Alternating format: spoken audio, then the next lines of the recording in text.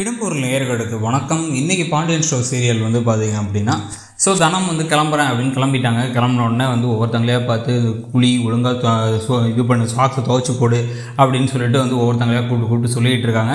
ஆனால் வந்து இந்த மீனாக்கிட்டையும் ஜீவாக்கிட்டையும் சொல்லலை. ஏன்னா மீனா தூங்கிட்டு இருக்காங்க. ஜீவா கடையில் இருக்காரு அப்படின்னு அவங்கள்ட்ட சொல்லாமல் முல்லைட்டை எல்லாத்தையும் சொல்லிட்டு ரொம்ப சோகமாக வந்து கிளம்பி போகிறாங்க ஒரு சரியாயிடுச்சு அப்படின்னா ஒரே நாளில் ஓடி வந்துருக்குன்னு மூர்த்தியும் அனுப்பிவிடுறாரு.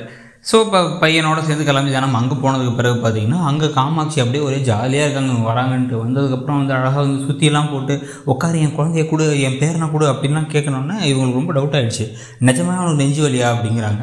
உண்மையான நெஞ்சு வலி தான் ஆனால் நீ வரேன்னு சந்தோஷத்தில் இருக்கேன் அப்படின்னு அவங்க சமாளிச்சிட்டு இருக்காங்க.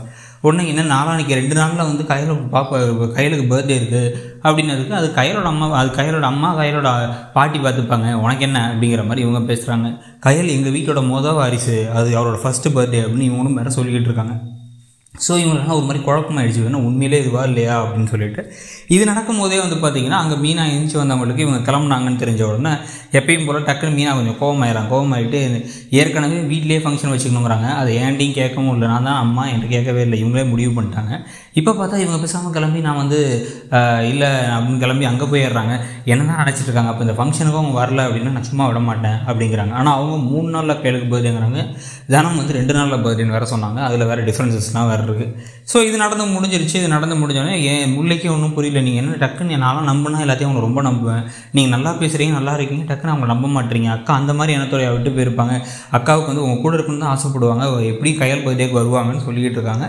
ஸோ அந்த போர்ஷன் முடிஞ்சிருது. இதுக்கப்புறம் தான் வந்து அந்த கடையில் அடி வாங்கின பையன் திருடின பையன் என்ன பண்ணுறாரு அப்படின்னா ஒரு மூணு பேரை வச்சுட்டு இவனை அடித்தா அவங்களுக்குலாம் வலிக்கணும் அப்படின்னு கண்ணனை காமிக்கிறாங்க. கண்ணன் வேணாம் வேணாங்கும் போது ஒரு அடி அடின்னு அடித்து முகத்தெல்லாம் உடச்சி அப்படியே அங்கே படுக்க வச்சுட்டு போயிடுறாங்க. இந்த சமயத்தில் கண்ணனுக்கு வெயிட் பண்ணி ஐஸ்வர்யா வீட்டு வாசலே உட்காந்துருக்கிறதோட இன்றைக்கி எபிசோடு முடியுது. ஸோ இன்றைக்கி எபிசோடை பற்றி நீங்கள் நினைக்கிறீங்கிறத கமெண்ட் செக்ஷனில் சொல்லுங்கள் தேங்க்யூ